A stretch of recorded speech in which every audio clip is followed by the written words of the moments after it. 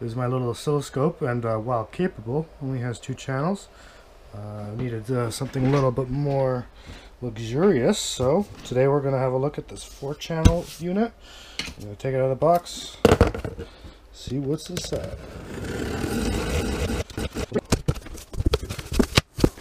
Well, well, well, it's quite a bit bigger. Turn this upside down. Hold on.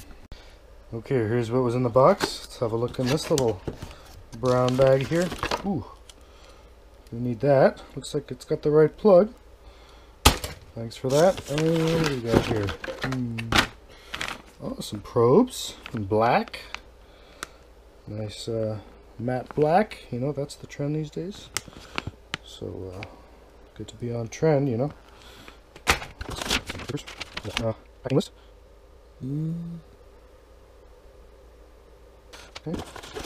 What's this? Oh, two more probes. Right, we got the four channel version, so we're gonna need four probes. What's this? Certificate of calibrate. Okay. Look at that uh, never. And uh, what's this? Uh, certified quality certificate. Okay. Can hang that one on the wall. And uh, what do we got here? Some sort of cable. All right, throw that aside. And uh,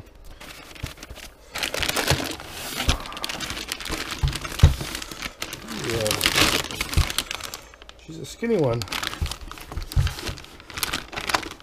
Compare that to the old one. It's uh, just a tad skinnier. Nice big screen. 1074, 12 bit, 2 gig samples a second. Got some buttons, cookie buttons. I don't know. I don't really know anything about it. We're gonna find out.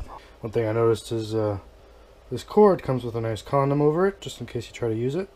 Okay, so what do we do? Let's push the uh, power button. Hopefully it doesn't explode on me. Oh, oh, it turned green. That's nice. Oh, hello. Looks like something's happening. Uh, oh, it looks like Almost looks like a tablet is set in there. I guess that kind of makes sense. Hmm. Something's happening. Something's happening. Okay. Oh, some more lights came on. There we go. Looking at a screen. Anyways, Let's try plugging in one of these probes. There's the probe. Comes with this uh, little baggie full of accessories. You got the little rings to match the colors on there, you know, for people who are into that. And uh, got the little connector dingy at the end. And uh, let's try number one. And uh, should just go in there. Oh, there we go. And let's see, can we get us a waveform here? Oh, what are we looking at? Uh, I don't know. Let's push auto. See what happens. Oh, okay. It works. Uh, ooh, ooh. Making noises. What is going on on the side here? Oh, those numbers. Hmm. Can we turn this knob here? Oh, wow. Hello. Some zoom going on. Hmm. Okay, well, she seems to work. Uh, let me know in the comments anything else you want to see. But uh, I haven't really seen many videos about this thing, so. Two hours later. I got it all set up and uh, doing some uh, debugging on this uh, solar dashboard. Uh, and uh, you can see, got a few waveforms going. Yeah, four channels. Here's the old one.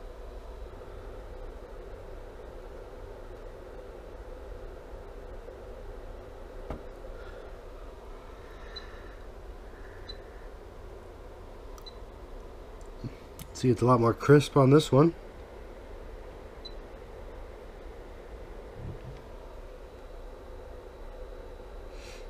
But this does the trick too. So thanks for watching and uh, See you later.